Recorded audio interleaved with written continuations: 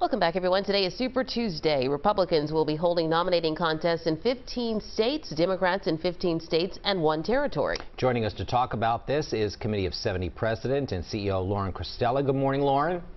Good morning. Thanks so much for having me. Our pleasure. So, how important is uh, this day for the race for the White House overall?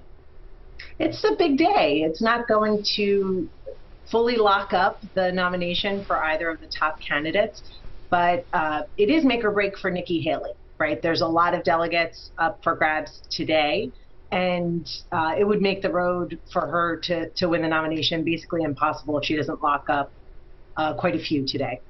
So, Lauren, what should we be watching for today as the voting progresses and the day progresses?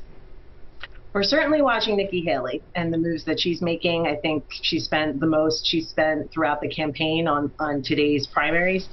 Uh, we're also watching some down ballot races. There's competitive uh, races in California for Dianne Feinstein's Senate seat. Uh, there's a, a, race in North Carolina for governor that should be very competitive, and a new map in Alabama that uh, that we'll be watching the, the results of too.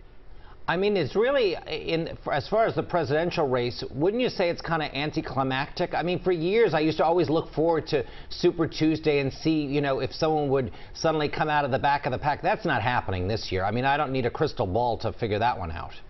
It's true. The the top candidates, former President Trump and President Biden, seem very much to be the likely nominees. They're not going to wrap that up until about March 12th or March 19th, mm-hmm. as far as delegate counts go. Uh, but but that uh, that kind of inevitability is also leading to some voter apathy, we think, as well. Hmm.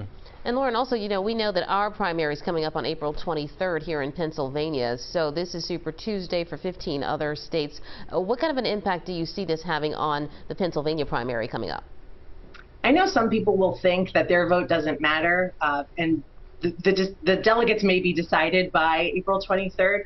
But there are some important races here: our Attorney General race, top uh, statewide statewide offices. So definitely worth casting your vote. Uh, and Pennsylvania has closed primaries, so you need to pick a party by April mm-hmm. 8th, the deadline to be able to vote in our primary on the 23rd. Lauren Cristella from the Committee of 70. Thanks so much for joining us this morning, Lauren.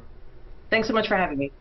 Well, we do have some dates for our local primaries for you again. Delaware is April 2nd, followed by Pennsylvania April 23rd, and New Jersey's primary election is June 4th. Stay with CBS News Philadelphia for continuing coverage, of course, throughout these primaries and the entire 2024 presidential election.